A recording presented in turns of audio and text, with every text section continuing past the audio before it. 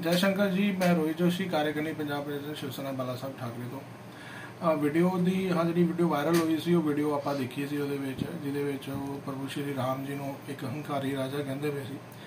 ਤੇ ਕੋਈ ਕਿਸੇ ਜਲੰਧਰ ਸ਼ਹਿਰ ਦੇ ਵਿੱਚ ਵੀ ਉਹਨਾਂ ਦੇ ਐਫ ਆਈ ਆਰ ਦਰਜ ਵੀ ਹੋਈ ਹੈ ਔਰ ਮੈਂ ਇਹ ਚੀਜ਼, ਉਹ ਸਾਡੇ ਭਰਾ ਵਾ, ਜਿਨ੍ਹਾਂ ਨੇ ਇਹ ਗੱਲਾਂ ਕਹੀਆਂ ਬਟ ਮੈਨੂੰ ਇਹ ਨਹੀਂ ਸਮਝ ਲੱਗਦੀ ਇਹਨੇ ਸੂਝਵਾਨ ਵਿਅਕਤੀ ਹੁੰਦੇ ਨਾਲ ਸੂਝਵਾਨ ਵਿਅਕਤੀ ਹੋਣ ਦੇ ਕਾਰਨ ਇੰਨੇ ਸੂਝਵਾਨ ਇੱਕ ਸੰਗਠਨ ਚਲਾਉਣ ਦੇ ਵਿੱਚ ਉਹਨਾਂ ਨੇ ਆਪਣੇ ਮੂੰਹ ਇਦਾਂ ਦੀ ਗੱਲਾਂ ਕਿਉਂ ਗਈਆਂ? ਕਿਉਂਕਿ ਦੇਖੋ, ਇੱਕ ਜਿਹੜਾ ਸਮਾਜ ਹੈ, ਸਮਾਜ ਦੇ ਵਿੱਚ ਸਾਰੇ ਬੰਦੇ ਰਹਿੰਦੇ ਸਾਰੇ ਧਰਮਾਂ ਦੇ ਬੰਦੇ ਰਹਿੰਦੇ ਆ। ਔਰ ਕਦੀ ਵੀ ਕਿਸੇ ਦੇ ਧਰਮ ਬਾਰੇ ਆਪਾਂ ਨੂੰ ਕਿਸੇ ਟਿੱਪਣੀ ਨਹੀਂ ਕਰਨੀ ਚਾਹੀਦੀ, ਚਾਹੇ ਕੋਈ ਵੀ ਧਰਮ ਹੈ, ਠੀਕ ਹੈ। ਔਰ ਇਹ ਤੇ ਸਾਰੇ ਬੰਦੇ ਆਪਣੇ ਘਰ ਦੇ ਵਿੱਚ ਹੈ, ਤਿਉਹਾਰ ਮਨਾਉਂਦੇ ਸਾਰੇ ਇੱਕ ਦੂਜੇ ਨਾਲ ਮਿਲਦੇ ਵਰਤਦੇ ਆ। ਤੇ ਉਹਨਾਂ ਦੇ ਪ੍ਰਤੀ ਦਿਲ ਦੇ ਵਿੱਚ ਇੰਨੀ ਘৃਣਾ ਜਿਹੜੀ ਹੈਗੀ ਹੈ, ਮੇਰੇ ਖਿਆਲ ਨਾਲ ਇਹ ਚੀਜ਼ ਦੀ ਮੈਂ ਨਿੰਦਾ ਕਰਦਾ ਵਾਂ।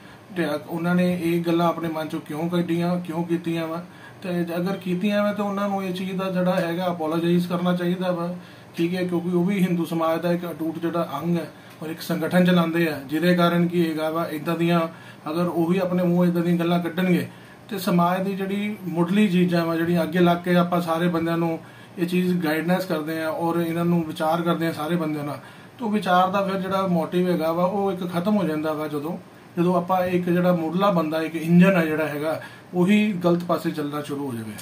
ਤੇ ਇਹਦੇ 'ਚ ਇੱਕ ਹੋਰ ਚੀਜ਼ ਦੇਖੀ ਗਈ ਹੈ ਕਿ ਕੁਝ ਜਥੇਬੰਦੀਆਂ ਜਿਹੜੀਆਂ ਉਹਨਾਂ ਦੇ ਹੱਕ ਦੇ ਵਿੱਚ ਸੀਪੀ ਸਾਹਿਬ ਨੂੰ, ਆਪਣਾ ਡੀਸੀਪੀ ਸਾਹਿਬ ਨੂੰ ਮਿਲੀ ਸੀ ਉਹਨਾਂ ਦੇ ਵਿੱਚ ਕੁਝ ਲੋਕਾਂ ਦਾ ਕਹਿਣਾ ਹੈ ਕਿ ਜੋ ਉਹਨਾਂ ਨੇ ਵੀਡੀਓ 'ਚ ਬੋਲਿਆ, ਉਹ ਆਲਰੇਡੀ ਰਮਾਇਣ ਦੇ ਵਿੱਚ ਵੀ ਕਿਹਾ ਗਿਆ ਹੈ ਜਾਂ ਉਹ ਰਮਾਇਣ ਦੇ ਵਿੱਚ ਮੈਂਸ਼ਨਡ ਹੈ। ਇਹਦੇ ਬਾਰੇ ਤੁਹਾਡਾ ਕੀ ਕਹਿਣਾ ਹੈ? ਦੇਖੋ ਜੀ, ਜਿਨ੍ਹਾਂ ਨੂੰ, ਜਿਨ੍ਹਾਂ ਨੇ ਰਮਾਇਣ ਪੜ੍ਹੀ ਹੈ, ਉਹ ਜ਼ਿਆਦਾ ਜਿਹੜੀ ਨੌਲੇਜ ਰੱਖਦੇ ਹੋ ਬੰਦਿਆਂ ਨੂੰ, ਇਹ ਤੇ ਜਵਾਬ ਉਹੀ ਦੇ ਪਾਣਗੇ ਕਿ ਜੇ ਅਗਰ ਉਹ ਉਹ ਗਲਤ ਪਾਸੇ ਜਿਹੜਾ ਕਿਸੇ ਚੀਜ਼ ਨੂੰ ਲੈ ਕੇ ਜਾਂਦੇ ਪਏ ਆ, ਆਪਾਂ ਤੇ ਜਿਹੜੀ ਚੀਜ਼ ਬੋਲੀ ਗਈ ਆ, ਆਪਾਂ ਤੇ ਉਹਦੇ ਉੱਪਰ ਟਿੱਪਣੀ ਕਰ ਸਕਦੇ ਆ।